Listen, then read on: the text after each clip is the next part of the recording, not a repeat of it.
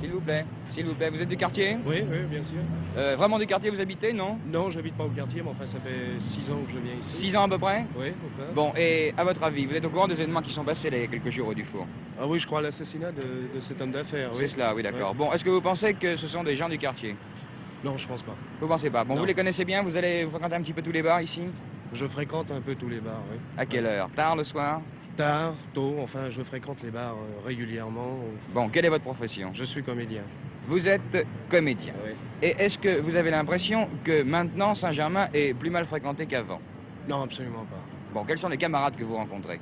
Euh, les camarades que j'aime, moi, à Saint-Germain, ce sont des peintres, des sculpteurs, des comédiens, des danseurs. euh, Enfin, c'est tout un rapport avec le domaine artistique. Et ceux que vous n'aimez pas?